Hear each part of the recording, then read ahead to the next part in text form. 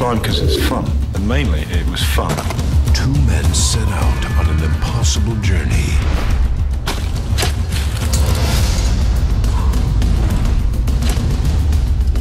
They defied the elements. They defied the odds. They defied death.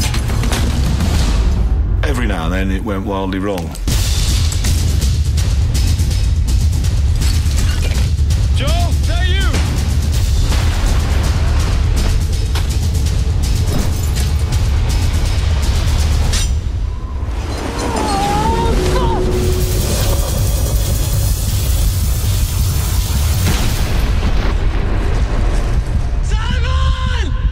This is it. This is as far as this game goes. Touching the Void. Coming soon to VHS and DVD.